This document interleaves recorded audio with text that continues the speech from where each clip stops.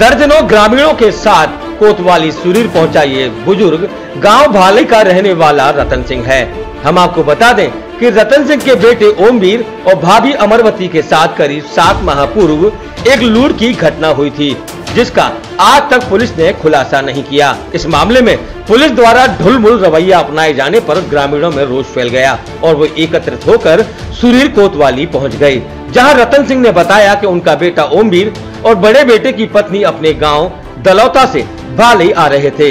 तभी थाना सुरीर क्षेत्र के माट ब्रांच नहर के समीप तीन लोग मोटरसाइकिल पर सवार होकर आए और तमंचे के बल पर उनके पहने हुए सोने के आभूषण और नकदी के साथ मोबाइल भी ले गए। इस मामले में उन्होंने तहरीर दी थी, लेकिन पुलिस ने सात माह के बावजूद भी अभी तक कोई कार्रवाई नहीं की। इससे साफ़ ज़ाहिर है कि पुलिस इस मामले को लेकर ढुलमुल रवैया अपना रही है। इस दौरान हुई बातचीत में पीड़ित ने मंच न्यूज़ को जानकारी दी? रतन सिंह। कहाँ के रहने वाले हो? किस लिए आए हो आप लोग थाने जाओ सब पहले हमारे लड़का बहू नहर पे लूटपाट भई। तीन आदमी पैसे रुपये गाड़ी उनकी। कितने दिन पहले घटना हुई थी? गई छः सात आठ महीना के बाद आई जी। दो हज़ार सत्रह की। जी। और यहाँ रिपोर्ट करवाई हमने। जी। करवा की नकल लेकिन आ गए। जी। क्योंकि हम तो वो पैसे नहीं हटना है वो लड़का पे। गाड़ी वाले ज़रूर नंबर यूपी पचासी में रिपोर्ट तक लिखी गई है। जी।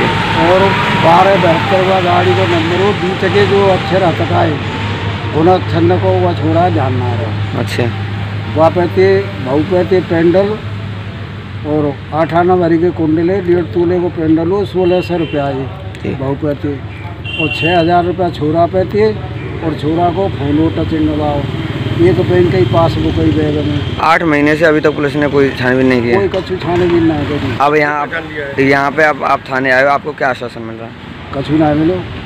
क्या कह रहे हैं ये थाना इंचार्ज तुमने वो पकड़वाए तुमने पहचाने ये कहिए। अब आप आपने अब बताया तो अब क्या कह रहे हैं?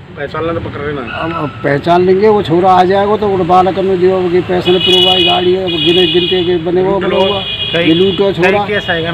और वो छोरा यहाँ बुला लेंगे हम कि छोरा आ जाए जा ठीक है पहचान लियो वो कई केस है केस है।